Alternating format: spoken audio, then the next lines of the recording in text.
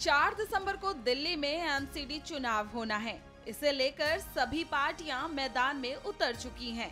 चुनाव को लेकर हर तरफ़ शोर है। ऐसे में दिल्ली पुलिस भी सजग है। दिल्ली पुलिस के लगभग सोलह हज़ार जवान इस चुनाव में अपनी ड्यूटी निभाएँगे।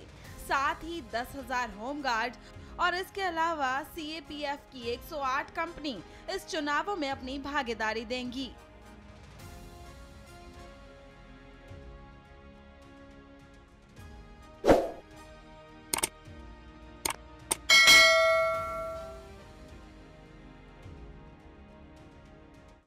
चार दिसंबर को दिल्ली में एमसीडी के इलेक्शन हो रहे हैं, जो साउथ और वेस्ट क्षेत्र है, उसमें सात ज़िले आते हैं, जिनमें पुलिस ने पूरी तैयारी की हुई है, जो बूथ, हर बूथ का एनालिसिस किया गया है, उसमें से जो क्रिटिकल बूथ्स हैं, उस पर डिप्लॉयमेंट हमारी ज़्यादा रहेगी।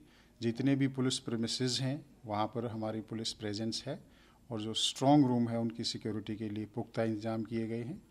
इसके साथ साथ जो कन्वेसिंग के दौरान हमारी डिप्लॉयमेंट है, रात को चेकिंग होती है या नाइट पेट्रोलिंग होती है, वो पूरी तरह से जारी है। एक डीसीपी सतर के अधिकारी रात को ज़िले में रहते हैं और वो पेट्रोलिंग और पिकेट ड्यूटी का सुपरविजन करते हैं। और अभी तक सब कुछ कैंपेन पीसफुल रहा है। जो क्रिटिकल बूथ्स हैं, खासकर जो सेंसिटिव एरिया हैं, या जहाँ पर कोई इलेक्शन के दौरान पहले कोई वायलेंस की हिस्ट्री है, उन पोलिंग बूथ्स पर हमने स्पेशल अरेंजमेंट लगाए हैं, और वहाँ पर एक्स्ट्रा डिप्लॉयमेंट है, और वहाँ पर जो एरिया सिक्योरिटी प्लान है, वो भी हमने स्ट्रेंथन की है। इसके अलावा पुलिस इस बार जो ड्रोन्स हैं, उनके माध्यम से भी निगरानी रखेगी कि कहाँ पर कोई ज़्यादा गैदरिंग हो रही है या कोई इसी तरह की कोई लॉ एंड ऑर्डर की कोई प्रॉब्लम है?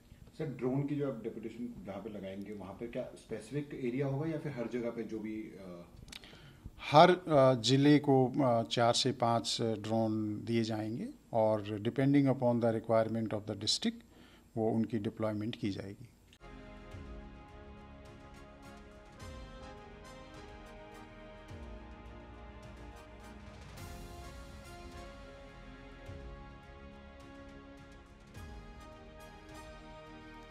एमसीडी चुनाव के चलते सभी पार्टियाँ मैदान में उतर चुकी हैं।